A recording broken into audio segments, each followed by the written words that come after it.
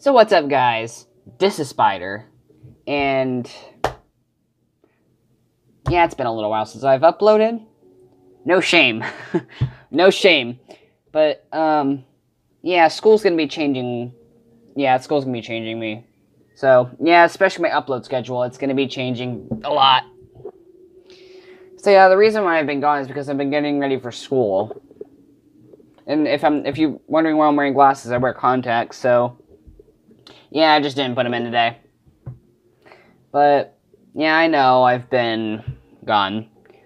But don't worry, big stuff is coming out eventually. I'm working on Stoop Avengers Endgame. It's almost ready and it's amazing. And there's more stuff I don't want to reveal yet that could be coming to this YouTube channel very soon, actually.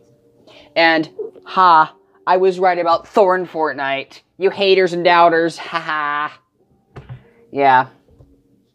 But yeah, I, I predicted Thor. Like the Fortnite player I am, and Marvel fan. I predicted Thor and Fortnite, so... But if you saw that um, the files showed Galactus, so for the event it could be Thor versus Galactus. That'd be amazing.